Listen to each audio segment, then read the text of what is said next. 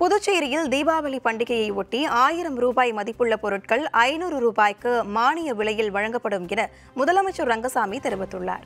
புதுச்சேரியில் செய்தியாளர்களிடம் பேசிய முதலமைச்சர் ரங்கசாமி தீபாவளி பண்டிகையை முன்னிட்டு கட்டட தொழிலாளர்களுக்கு தீபாவளி ஊக்கத்தொகையாக ஐந்தாயிரம் ரூபாயும் அமைப்பு சாரா தொழிலாளர்களுக்கு ஆயிரத்தி ஐநூறு ரூபாயும் வழங்கப்படும் என அறிவித்தார். மேலும் தீபாவளி பண்டிகையை ஒட்டி கான்பெட் மூலமாக தீபாவளி சிறப்பங்காடியில் முந்திரி திராட்சை வெள்ளம் உள்ளிட்ட ஆயிரம் ரூபாய் மதிப்புள்ள பத்து பொருட்கள் ஐநூறு ரூபாய்க்கு மானிய விலையில் வழங்கப்படும் என அறிவித்தார். பொதுமக்கள் தங்களது ரேஷன் கார்டை கொண்டு வந்து இந்த பொருட்களை வாங்கிக் கொள்ளலாம் என கூறினார்.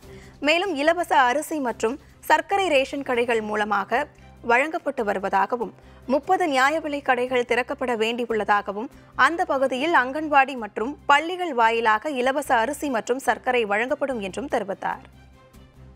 தீபாவளி பண்டிகை முன்னிட்டு கட்டுமான கட்டுமான சங்கத்தின் மூலமாக கட்டிட தொழிலாளர்களுக்கு இந்த ஆண்டு தீபாவளி ஊக்கத்தொகையாக பரிசு தொகையாக ஐயாயிரம் ரூபாய் வழங்கப்படும்.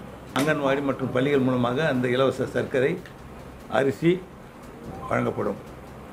மேலும் நம்முடைய கான்ஃபர்ட் நடத்துகின்ற தீபாவளி அந்த சிறப்பு அங்காடியின் மூலமாக சுமார் ஐநூறு ஆயிரம் ரூபாய் மதிப்புள்ள சுமார் பத்து பொருட்கள் ஐநூறுரூவாய்க்கு மானிய விலையில் கொடுக்கப்படும்.